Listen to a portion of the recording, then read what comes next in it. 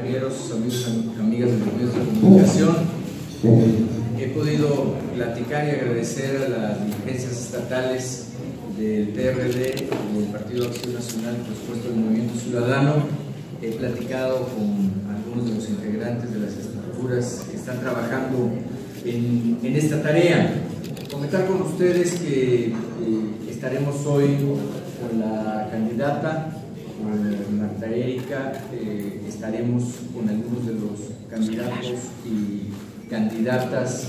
a todas y cada una de, estas tareas que se están hoy eh, proponiendo y que serán un ejercicio, eh, por supuesto, democrático en la próxima jornada, tanto de, los, de las diputaciones federales, de las dos senadurías y también, por supuesto, con los candidatos y candidatas locales en